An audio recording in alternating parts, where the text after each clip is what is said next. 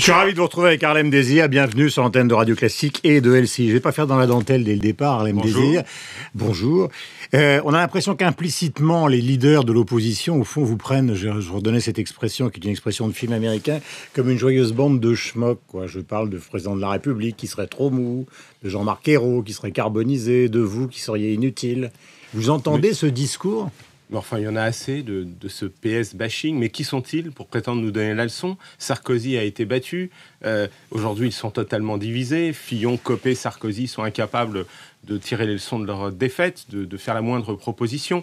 Ils ont mis la- la- le pays dans la situation dans laquelle il est, euh, multipliant euh, l'endettement aux déficits commerciaux, euh, au chômage. euh, et ils sont aujourd'hui, on le voit bien, même pas certains. Mais vous les entendez, ces, ces insultes implicites sur le niveau qui serait le vôtre Mais Je écoutez, parle pas de vous, vous, mais de l'équipe en entier. Nous, depuis 18 mois, nous travaillons à redresser la situation de ce pays. Nous avons récupéré un pays éreinté par quatre décennies de crise et par une décennie de pouvoir de la droite qui l'a abaissé dans tous les classements internationaux, sur le plan de la compétitivité, de l'industrie, du commerce extérieur, sur les classements PISA euh, pour l'éducation. Donc il faut faire tout cela. Ça a demandé beaucoup d'efforts. Hum. C'est vrai et c'est difficile, mais ils sont en train de payer ces efforts. Petit à petit, euh, on voit pourquoi les Français ne s'en rendent pas Mais pourquoi les. Français ne s'en rendent pas Mais compte parce que, euh, par exemple, depuis cinq mois, c'est vrai que c'est le chômage des jeunes qui euh, recule. Maintenant, il faut que ce soit l'ensemble du chômage qui recule. Et, et c'est euh, euh, le pacte de compétitivité, la banque publique d'investissement, le crédit d'impôt compétitivité emploi qui ont été mis en place, qui vont Hum. permettre, en, en amplifiant leur effet, de produire des résultats. C'est long Oui, mais, ces, mais résultats, pardonnez-moi, dans le domaine du chômage, on les attend toujours.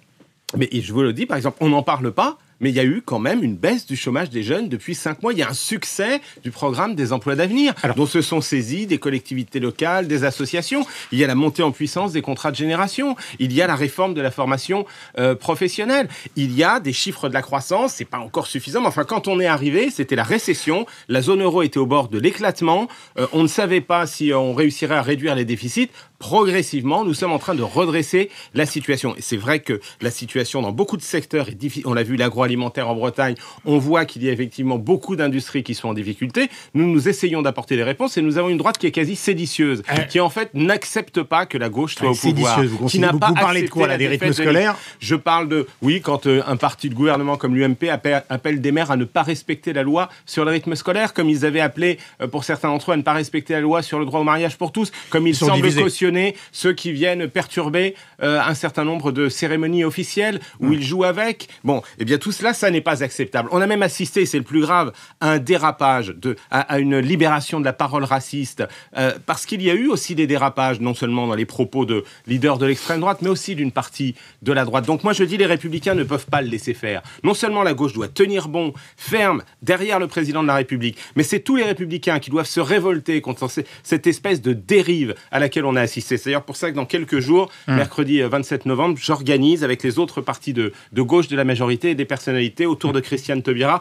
un grand meeting de défense de la République contre les Écran de extrémistes. fumée, dit l'opposition sur cette affaire Taubira. C'est-à-dire que personne ne cautionne le fait qu'elle ait été euh, traitée d'une telle manière, mais en même temps, ils considèrent que, que le problème, justement, c'est la baisse des impôts et non pas la réforme de la fiscalité. Vous l'avez entendu, cet enfin, argument. on n'a pas à opposer le fait qu'il faut mener une politique économique et sociale avec la défense des principes et des valeurs de la République. Quand une garde des Sceaux se fait insulter à l'occasion de chacun de ses déplacements, ça quand on voit rapport des- avec des Fillon, gens manipulés, l'op- Vous parlez, vous parlez de l'opposition et les partis de gouvernement. Vous leur, que- vous leur attribuez une part de responsabilité dans la façon dont a été traitée Christiane Taubira? Mais parce Soyez franc. quand à Angers, c'est en marge d'une manif pour tous euh, que l'on voit des parents laisser leurs enfants euh, agiter une banane et, et insulter la ministre euh, de la Justice, est-ce qu'il n'y a pas de la part euh, des responsables qui ont soutenu ce mouvement à se ressaisir Quand on voit cette espèce de bloc droitier ultra-réactionnaire, Mais anti-républicain, dans lequel Mais enfin, ils on l'ont condamné. ensemble. Non, mais d'accord, mais les, leaders de l'UMP ont condamné et- la manière dont Taubira et les unes et les unes d'un certain nombre de journaux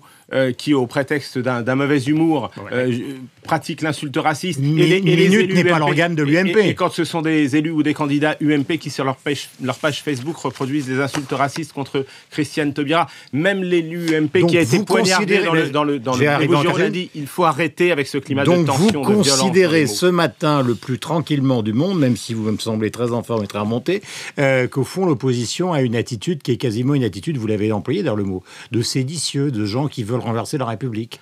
qui essaye de créer une stratégie d'empêchement, d'impuissantement du président de la République, qui justifie.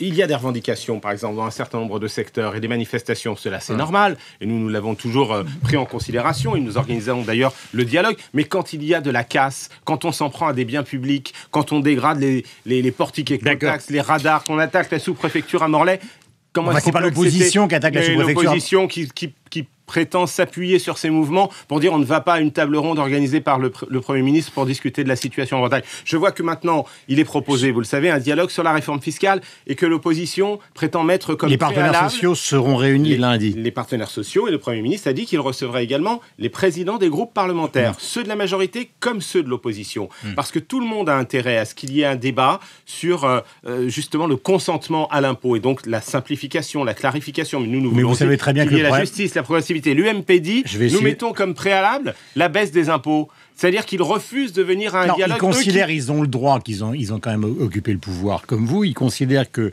actuellement une réforme fiscale devient très compliquée, qu'en partie à Bercy, un certain nombre de gens sont extrêmement prudents, voire divisés sur ce sujet, et qu'ils préféraient une baisse des impôts plutôt qu'une réforme dont on ne sait pas très bien où elle va aller, voire même si elle va exister un jour. Ils ont le droit de poser cette question. Ils viennent avec leurs propositions. On verra bien euh, si c'est sérieux. Ils proposent 130 milliards de coupes budgétaires. Comment est-ce que on va faire pour euh, continuer à faire fonctionner les services publics, l'école de la République, euh, la police, la justice. On est tous euh, très heureux de pouvoir saluer l'efficacité des services de police quand on arrête en moins d'une semaine un tireur fou. Alain Juppé lui-même a dit que c'était complètement euh, irréaliste ce genre de proposition que fait aujourd'hui l'UMP. Mais moi, ce que je constate, c'est qu'ils disent qu'ils veulent refuser de venir discuter de la réforme fiscale avec le Premier ministre. Mais de, qui veut-on, enfin, qui veut nous donner les leçons? Eux qui ont, depuis le bouclier fiscal jusqu'à la suppression de l'ISF en 5 ans, ils jouent un rôle d'opposant. Ils jouent un rôle d'opposant.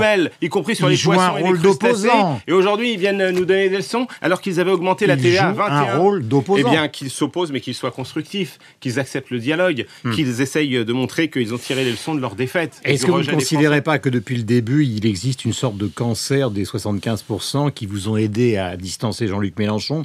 Mais il existe maintenant un rapport de la Commission des finances qui montre que les deux tiers des entreprises qui vont payer sont les entreprises qui font un chiffre d'affaires en gros inférieur à 250 millions d'euros. Donc est-ce que c'est pas ça, cette image de la fiscalité à 75% qui quand même est à la base, au fond, à la fois de votre victoire, mais de, ces interrogations sur la fiscalité en France Bon, d'abord, je ne crois pas que ça préoccupe l'ensemble des ménages, puisqu'il s'agit de revenus la politique, supérieurs à, un million d'euros. Ensuite, c'est une affaire de symbole aussi, la politique. toutes les entreprises, quelle que soit leur taille, ils sont assujettis à partir du moment où elles veulent verser hum. des rémunérations supérieures à un million d'euros. On dit que dans cette étude, il y a des petites et moyennes entreprises. En fait, ce sont des établissements euh, financiers, ce sont des cabinets de conseil hum. qui font pour l'essentiel des activités des de, banques, de, spéculation. Des petites banques, oui, mais qui payent des, des traders à des gros salaires. Mais c'est ça le problème, parce que vous avez une partie du patronat contre vous, qui sont les gens qui veulent gagner de l'argent. Nous sommes dans une situation de redressement, pas ça, euh, redressement des finances publiques. On demande des efforts à tous les Français.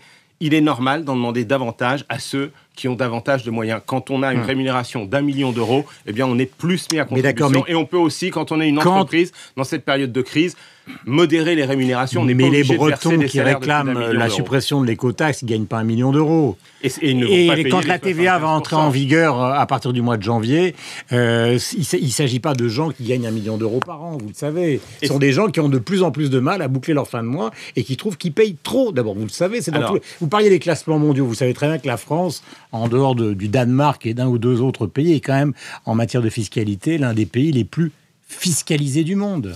Oui, parce qu'il y a eu une accumulation de réformes qui ont modifié par morceaux les impôts. Et puis parce que c'est vrai, nous sommes dans une situation d'endettement accumulé et qu'il faut en sortir. Et le plus gros de l'effort a été fait. Et donc l'initiative du du Premier ministre, avec le mm. président de la République, d'engager une remise à plat de la fiscalité, mm. qui correspond d'ailleurs à l'engagement numéro 14 du président de la République pendant la campagne. Il y a une vieille revendication du projet socialiste. Elle doit permettre de mettre de la simplification, de mettre de la clarté, mais aussi de dire à quoi sert l'impôt. Parce que la République, elle a besoin de l'impôt. Mais non, mais on n'est pas des enfants. aujourd'hui une mise en cause quand on voit, vous le dites, un certain nombre de, de révoltes qui semblent dire que on ne comprend pas pourquoi on paye des impôts. Sans doute parce qu'il y a cette espèce d'opacité, de complexité, qui, que les, niches ont été multipliées. Et c'est à ça que servirait éventuellement l'émission dont on parle du président de la République Vous avez entendu Je- parler de cette émission pas d'informations sur de cette aux émission, Français. mais en tout cas, c'est à ce débat que servira la concertation avec les partenaires sociaux. Et de ce point de vue, c'est très important que le Premier ministre ait décidé Mhm. De commencer par un dialogue pour- avec les syndicats parce qu'il s'agit de justice sociale. Euh, Est-ce que alors une question euh, euh, factuelle et une question politique.